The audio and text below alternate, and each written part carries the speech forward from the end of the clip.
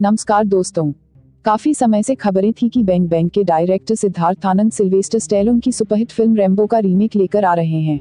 और इस फ़िल्म में हीरो होंगे ऋतिक रोशन वहीं पहले इस फ़िल्म से सलमान खान का नाम भी जुड़ चुका था। लेकिन ना सलमान, ना ऋतिक यह फ़िल्म टाइगर श्राफ के खाते में चली गई। इस फ़िल्म को लेकर टाइगर भी काफ़ी उत्साहित हैं। उन्होंने कहा कि वह कभी स्टेलोन को रिप्लेस नहीं कर पाएँगे। लेकिन इस फ़िल्म के लिए बहुत मेहनत करेंगे।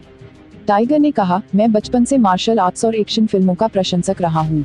मेरे लिए यह बड़ा मौका है, लेकिन मैं सिल्वेस्टर स्टेलोन की जगह नहीं ले सकता।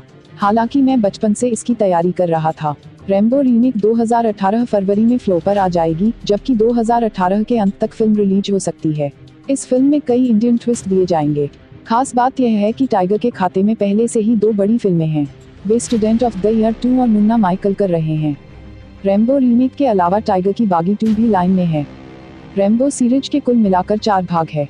तो ये टाइगर के फैंस के लिए अच्छे समाचार है, क्योंकि भविष्य में काफ़ी लंबे समय तक फ़िल्म के सीक्वल आने की पूरी संभावना है।